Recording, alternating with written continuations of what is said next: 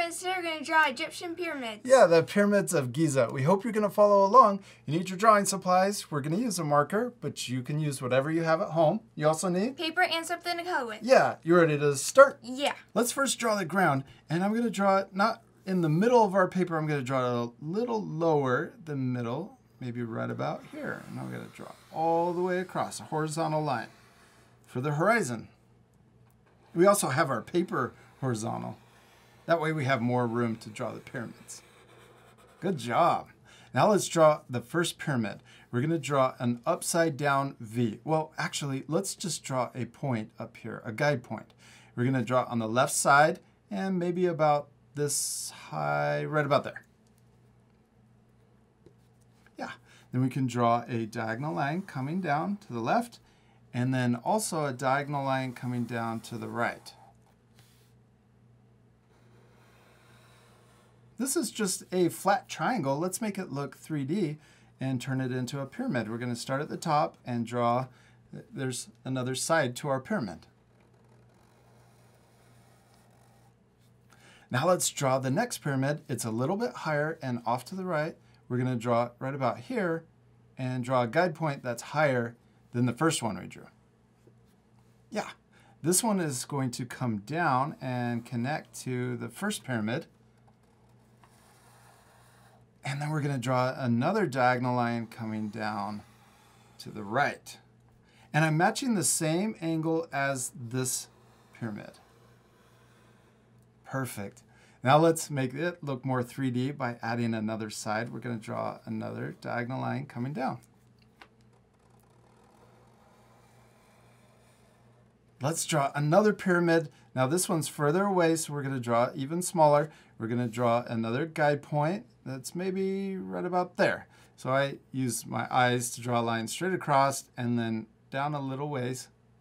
And we're going to draw, maybe draw a little closer to this pyramid. Okay. So not as much showing. Then we're going to draw a diagonal line. Let's first draw this one coming down to the right. And I'm matching the same diagonal line as the pyramid right next to it. And then let's draw a diagonal line connecting. And let's make it look 3D and draw another diagonal line for the side. We did it. Those are the three main pyramids. Now there are three smaller ones right in front. So let's start right here. I'm going to draw a diagonal line that crosses over the horizon line. So I drew it a little shorter than where this pyramid comes in. Oh, yours is different. That's okay. I love that it's different. You could start maybe right here and then draw it down to there. Okay. That's okay that our two drawings look a little different, right? Mm -hmm. Because the most important thing is to have fun and to practice. Practice. And both our drawings are turning out awesome. I'm sure your drawings are looking really cool too. Let's keep going. This side of the pyramid, I'm going to extend down a little ways too. So we come down below the horizon line. Then let's connect the bottom of that triangle. And we can also make it look more 3D and draw another side to that pyramid. Now that, that line that's going through the pyramid, it works because there you can see the levels or layers in the pyramid. So let's add another line below it and maybe another line above it. Now this next pyramid we're going to draw is broken down more than the other ones. So let's first draw the bottom layer. I'm going to start right next to this one and I'm going to draw two diagonal lines coming down from the horizon line. I'm actually going to draw them coming down to the same level as this one. So we drew it kind of a lot longer than I thought. And then we're going to connect the bottom. Now let's add another layer on top. So we're going to come in a little ways, add two diagonal lines going up. And then we'll connect them at the top. So these have, this one has bigger steps in the side. Then we're going to draw another layer on top too. So two more diagonal lines, and then we'll connect those at the top. And then one more, just really small one at the very top. Let's repeat that same step for one more over here on the left, and we're only going to add three layers to this one. So I'm going to draw two diagonal lines coming down below the horizon line. And then we'll connect the bottom. Then let's add another layer on top. So we're going to draw two diagonal lines going up and connect those at the top. And then one more layer,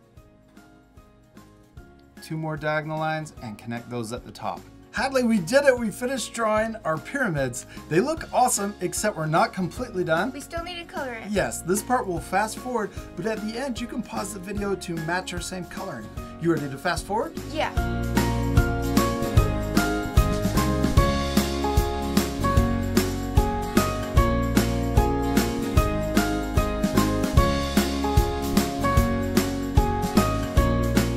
Almost done coloring our drawings and it's turning out awesome, Hadley. We first used our yellow marker, our Bianyo marker, Y107 for the sun, and then we used Y314 for the sand and also the pyramids, and B203 Three. for the sky. We also added clouds. If you have the same set, you can use those same colors if you want. But you could also color your drawings with anything you have at home or in your classroom, like oil pastels or colored pencils. You could even paint your drawings. Now it looks really cool, except I think we should add shadows and shading to make it look more three-dimensional. So now we're gonna use a brown Y529, and because our sun is over here on the right, we're gonna color the left side of our pyramid to add a shadow. This is gonna make our pyramids look more three-dimensional. They look kind of flat right now. Mm-hmm. But now when we add this darker side to the pyramid, it looks more three-dimensional. Yeah. Let's do that same thing to the other two pyramids. Also, this little shape over here. You could do this one too. Yes, this one too. We'll color the left side. Oh, and we forgot to add another side to these pyramids. I'm going to put this marker off to the side for a second and switch to my Sharpie. And I'm going to add a little line on the first layer, another line on the second one, and one more on the third layer. Let's do the same thing over here. Add another step to the side of the pyramid. Now we can switch back to our brown and add that shadow on the left side of these smaller pyramids. Let's do one more thing and use our yellow or our orange Y314 and layer on top.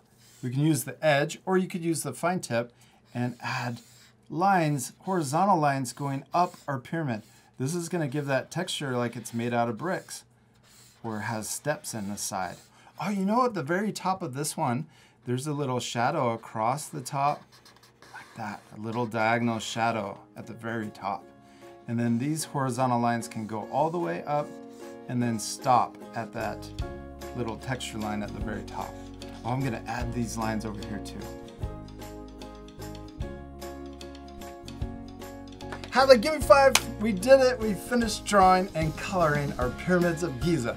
It looks awesome. Did you have fun? Yeah. I love that we added that little extra texture to the pyramids to make it look even more realistic. I really like the shadow on the pyramid. It makes it look 3D. Yeah, it does. And I also love your sun with the rays coming off. That looks awesome. We hope you had a lot of fun drawing your pyramids. We do. We hope you had a lot of fun and we hope you have a lot of fun coloring your drawings. And we'll see you later, our friends. Goodbye. Goodbye.